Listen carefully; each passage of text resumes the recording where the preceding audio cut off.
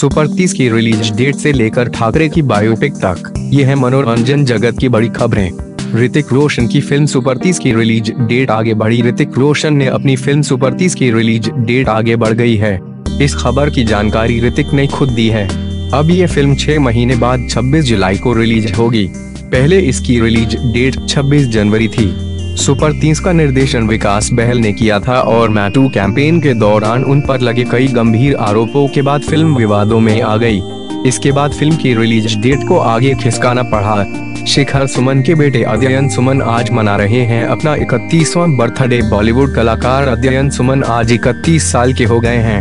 उन्होंने राज, जशन और इश्क जैसी कई फ़िल्में की, लेकिन वे बड़े पर्दे पर पहचान बनाने में नाकामयाब रहे। अध्ययन सुमन अभिनेत्री कंगना रनौत के साथ अफेयर को लेकर भी चर्चा में रह चुके हैं। साल 2016 में कंगना से ब्रेकअप के बाद अध्ययन सुमन ने बेहद भयावह खुलासे करते हुए उन पर बेहद गंभीर आरोप लगाए थे, इनमें गंदी गालियाँ देने, थप्पड़ मारने, ज्योतिषी के पास जाने, जलील करने, काला जादू करने समेत अशुद्ध खून मिलाकर खाना खिलाने तक जैसे कई खुलासे किए।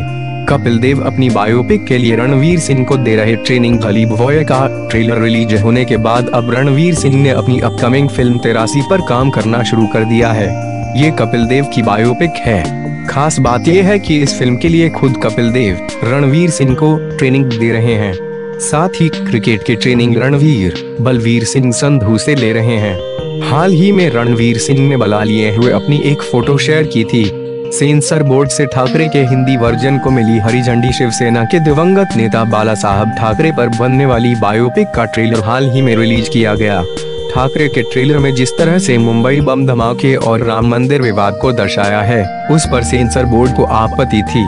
हालाँकि अब खबर आ रही है कि ठाकरे के हिंदी वर्जन को सेंसर बोर्ड से हरी झंडी मिल गई है।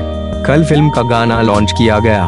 इस मौके पर फ़िल्म के लेखक व निर्माता शिवसेना सांसद संजय राउत ने कहा, बाला साहब दूसरों को सेंसर किया करते थे।